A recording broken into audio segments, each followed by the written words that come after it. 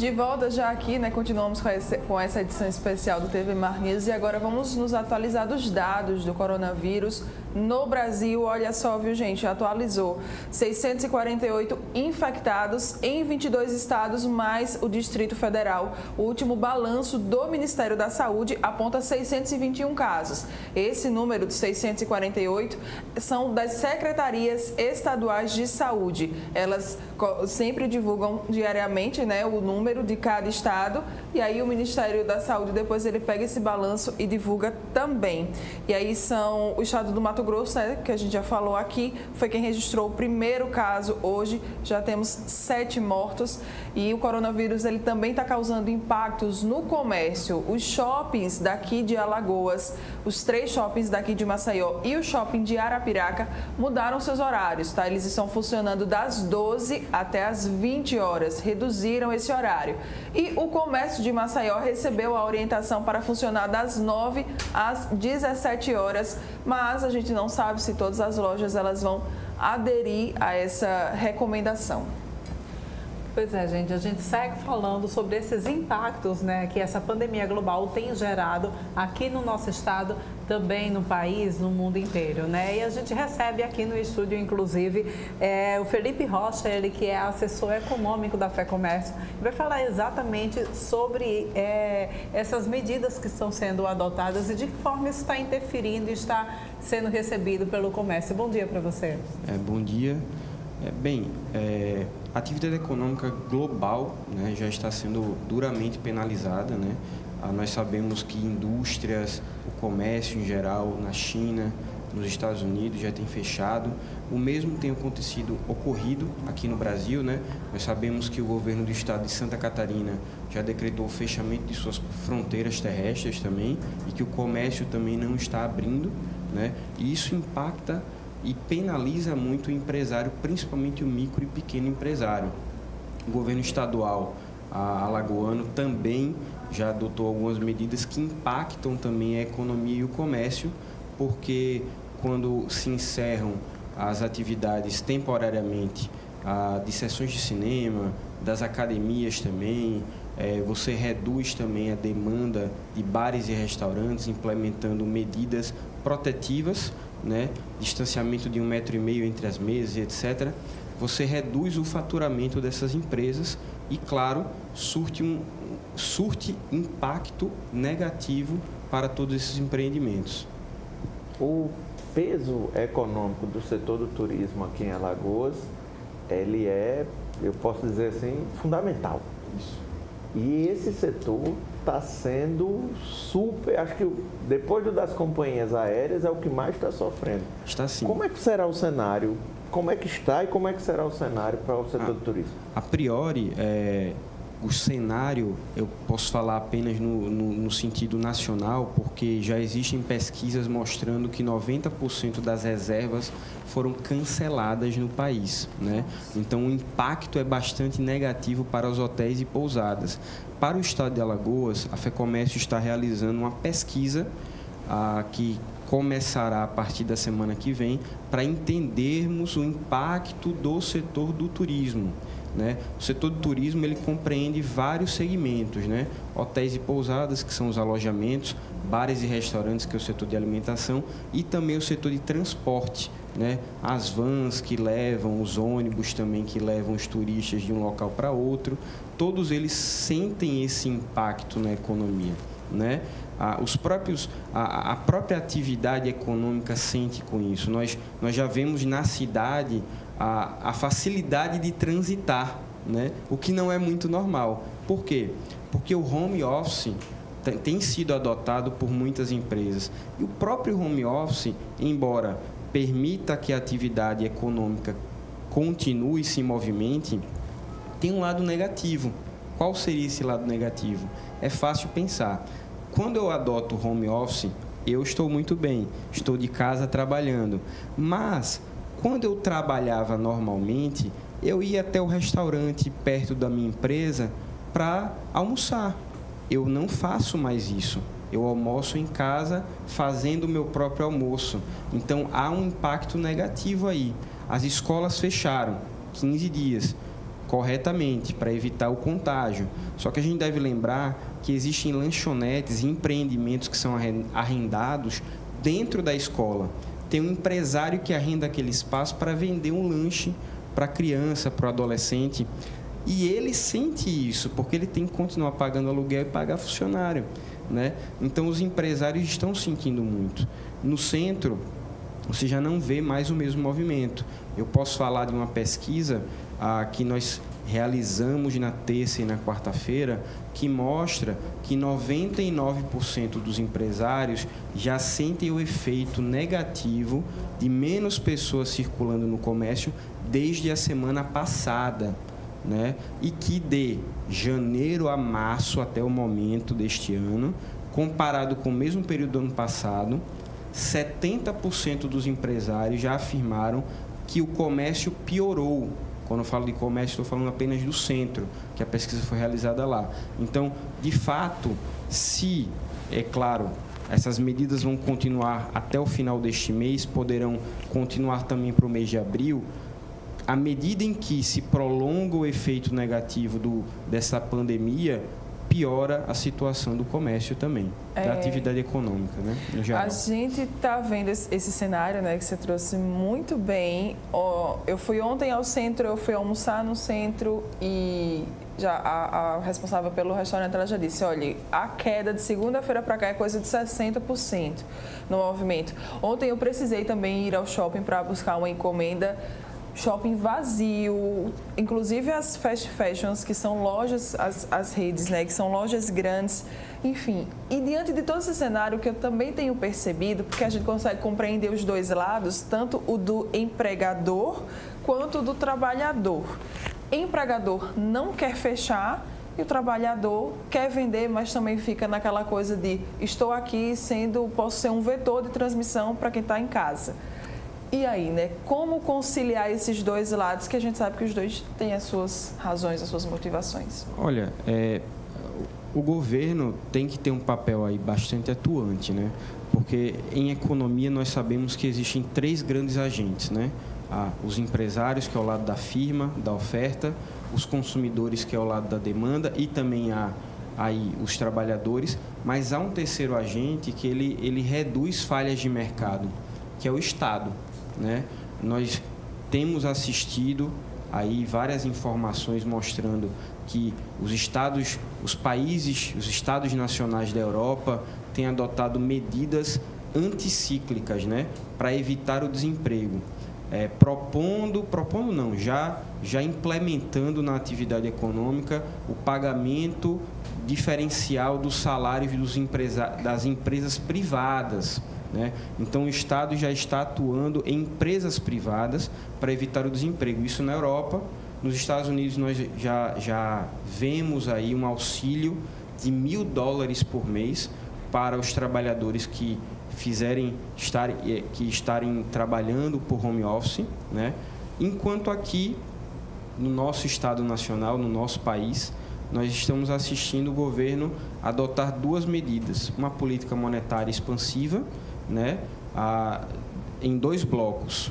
O primeiro bloco permitindo a flexibilização das dívidas, postergar em até seis meses, e os bancos já aderiram, né, estão adotando uma postergação de 90 dias e não de seis meses, menor do que o Banco Central é, permitiu adotar.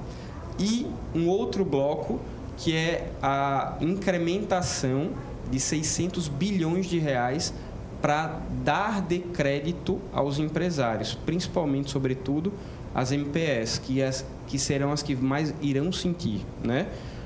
De que forma? Como capital de giro, para manter salário. Né?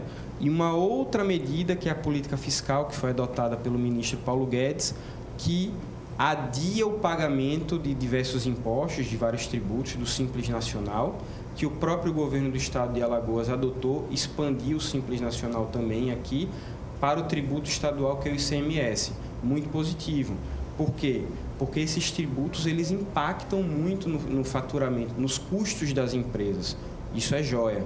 E ao mesmo tempo adotam uma, uma medida muito negativa, que é permitir que os empresários reduzam os salários em até 50%. Por que negativa?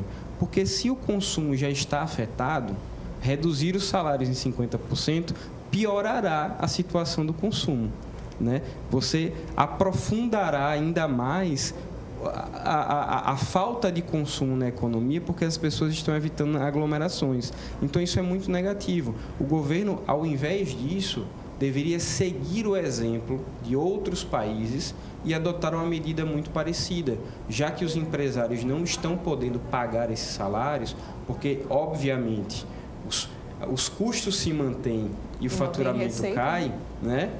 o governo deveria vir como um terceiro vetor para poder complementar os salários dos, dos, funcionários, da iniciativa privada também. E aí necessitaria romper o teto dos gastos por um ou dois anos, mas para poder manter a atividade econômica seguindo o seu fluxo normal e não piorar e agravar a crise econômica, uhum. entende?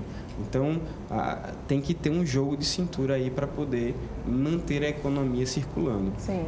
Felipe, a gente parece aqui no, no, Brasil que nós temos uma situação um pouco mais agravada dos demais países. A gente já estava imerso, na realidade, em uma crise, tentando, é, afogando e tentando sair a qualquer custo. E aí vem mais, é, é como se fosse uma onda, uma tsunami. Vem uma onda e agora veio outra e depois vem outra.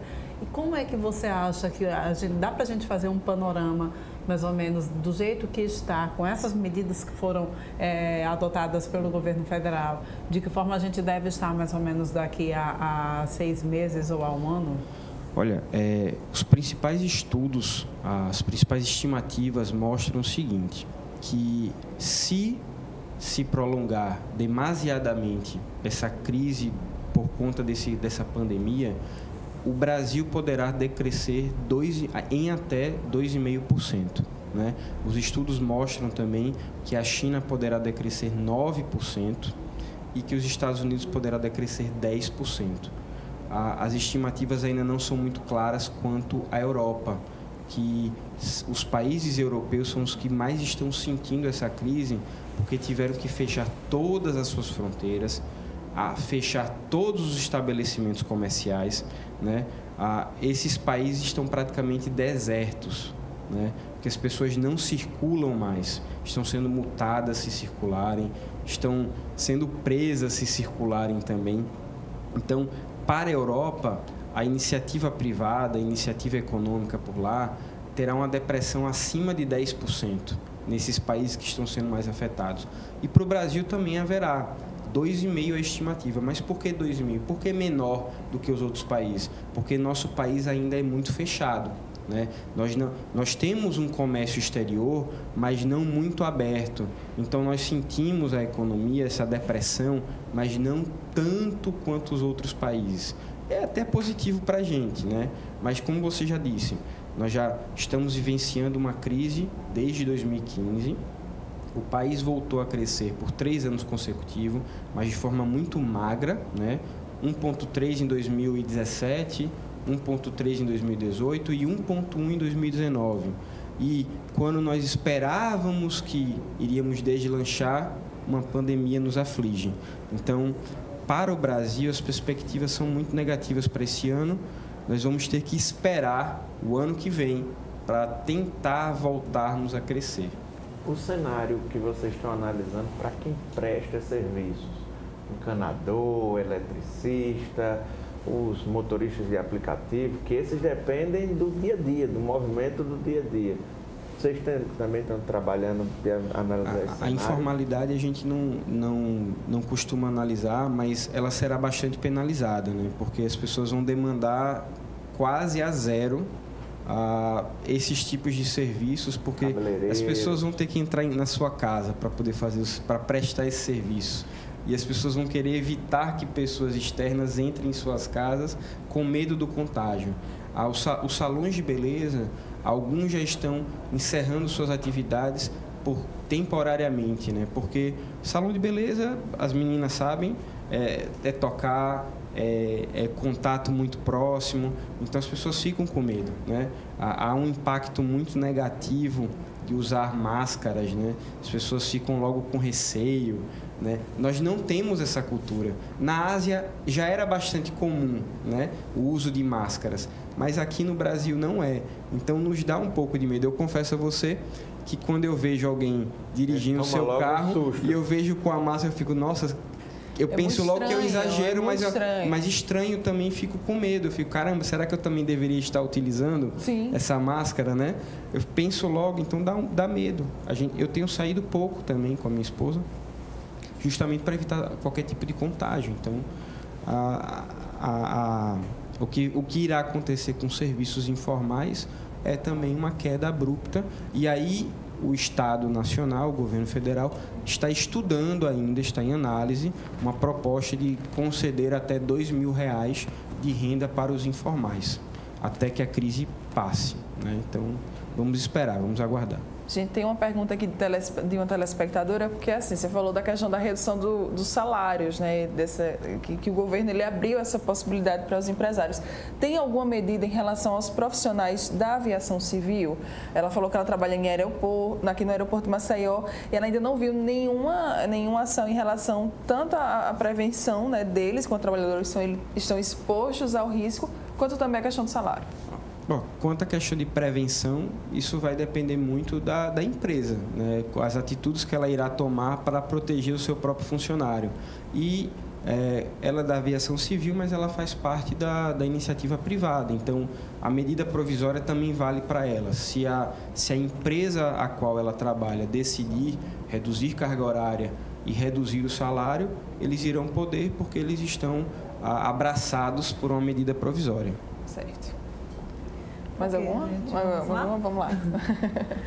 Então, gente, olha, ah, eu agradeço muito a tua participação aqui no nosso programa. Esclareceu aí. bastante para a gente também, né? Você já ajuda a gente bastante nas pautas do dia a dia, contar tudo muito obrigado. na tranquilidade e está ajudando a gente também nesse momento tão delicado para nossa economia, para todo mundo. Eu acho que Porlane e Mara concordam, e quem está assistindo a gente em casa também, que o cenário é preocupante, principalmente também na área econômica. Com Sim, certeza. demais. E ó, pessoal, por falar em área é, econômica, tá? O cartão bem legal, ele vai ter o atendimento e os serviços reduzidos a partir desta segunda-feira, dia 23. Os postos de serviço ah, do bairro do Tabuleiro do Martins e da Universidade Federal de Alagoas, eles estarão fechados, tá? Pelos próximos 15 dias e a solicitação de novos cartões, segundas vias e também o período de recadastramento estudantil ficarão suspensos pelo mesmo período, tá? Tudo isso devido a essa situação de pandemia do novo coronavírus. Para quem ainda não fez o recadastramento, o prazo, né, que iria até o dia 31 de março, está suspenso e uma nova data ela vai ser anunciada. Deixa eu ver aqui se tem mais alguma informação. Diminuição dos serviços e dos atendimentos não irá prejudicar os pedidos de recarga, tá, dos passageiros. Os postos do terminal do Benedito Bentes, eles vão funcionar das 5 às 19 e o do centro das 7 às 17. Vai ter caixa de atendimento e máquina de autoatendimento, tá? Também lembrando, é possível você fazer a recarga do seu cartão, né? O cartão que você usa ali no ônibus, no transporte coletivo, sem precisar se dirigir a nenhum desses postos físicos. Você consegue fazer de maneira online pelo aplicativo. É só pegar mais informações, tá? Quem quiser mais informações, talvez tenha ficado com alguma dúvida, pega aí o número, tá? 3021 8110. 3021 8110. E a gente tem matéria agora sobre lavagem dos ônibus. Vamos, vamos lá, coloca aí no ar pra gente conferir. Em tempo de uma pandemia como o coronavírus pelo mundo afora e aqui também nas Alagoas, todos estamos atentos às necessidades de muito cuidado com a higienização principalmente em ambientes onde as pessoas estão mais juntas, mais aglomeradas, como é o caso de um transporte coletivo, um ônibus, como estamos aqui, é uma empresa, a Real Lagoas, e vamos saber dos cuidados, a prevenção e tudo o que se faz para evitar a contaminação. Vamos conversar aqui com o gerente de manutenção, que é o Denison Campos, e ele nos fala sobre tudo isso que é feito cotidianamente, principalmente agora. Bom dia a todos. Como prevenção com esse vírus que vem se alastrando aí mundo afora, estamos fazendo a higienização do ônibus com um critério maior, onde estamos dando foco em fazer a lavagem dos mesmos. O pessoal está dando ênfase aos itens onde tem contato com as mãos, que são os puxadores, vidro, poltrona, os corrimão. Então, nesse momento, toda a frota são lavadas à noite. São 260 carros que a gente está dando esse foco. É o pessoal treinado de medicina do trabalho, que além da orientação de todos esses zeladores, ainda reúne toda a equipe da empresa, os profissionais, para uma orientação mais precisa. Estamos com a equipe da medicina do trabalho, fazendo um trabalho preventivo de orientação, onde está reunido pequenos grupos, sempre em espaço aberto, para fazer as instruções. Também distribuímos álcool gel para toda a equipe, para tratar de, de modo preventivo.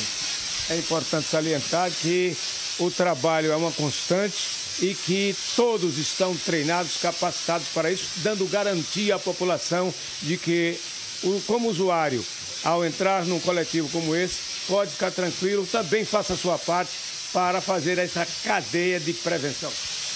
Com certeza, podem ficar tranquilos, todo o empenho necessário está sendo utilizado. A gente está aí, como vocês podem ver na, pessoal fazendo toda a limpeza da parte interna do veículo para a gente estar tá aí brigando para não estar tá disseminando o vírus. Essa preocupação com o coletivo, com a coletividade, principalmente com o zelo, com a limpeza, o, o, o álcool gel também, que é colocado constantemente, passado aqui. E você que é usuário desse sistema de transporte, aqui na capital Lagona mesmo, também faça a sua parte. Procure usar luvas, máscara, enfim, e fazer também com que esse vírus não prolifere, principalmente aqui em Maceió e por todo o estado de Alagoas e por todo o país. Com as imagens de Chico Nogueira, aqui da Real Alagoas, no Farol, Fernando Palmeira, para a TV Mar da organização Arnon de Melo, no canal 25 da NET.